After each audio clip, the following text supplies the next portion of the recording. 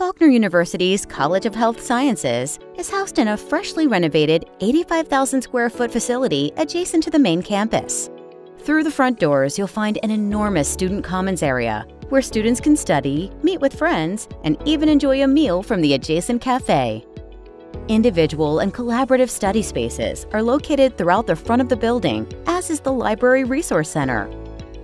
Each of the four disciplines speech language pathology, occupational therapy, physical therapy, and the physician assistant program have access to all the labs, including the ortho and neuro labs, which contain state of the art orthopedic equipment.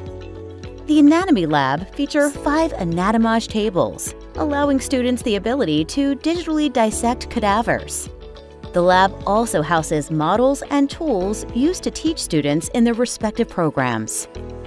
The Simulation Lab allows students to work in a triage and critical care environment.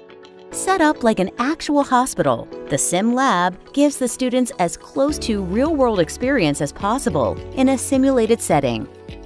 The pediatric gym and the adult gym are areas where students work with real patients.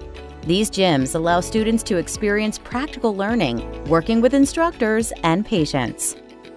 Faulkner University's College of Health Sciences is poised to be a premier center for health studies in the Southeast.